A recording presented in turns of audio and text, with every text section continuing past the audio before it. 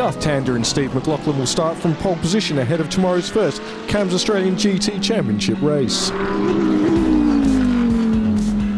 Despite mixed conditions, Tander's best of a 1 minute 26.8 was only three tenths of a second off the qualifying lap record.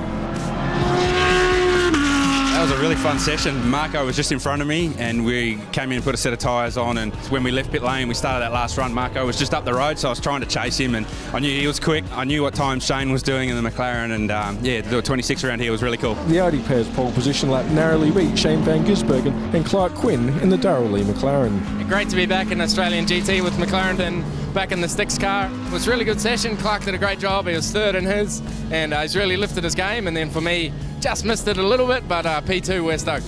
The second row will be filled by Marco Bonanomi and Greg Taylor, who will start alongside Elliot Barbour and Nathan Antunes. I'm happy to be in the top two rows and I'm amongst good company. The car's feeling good. The boys from Tekno have done a great job you know, with all the superstars rocking up for this round and uh, being able to rub doors with the best around the world and the best in Australia. I'm um, pretty, pretty stoked.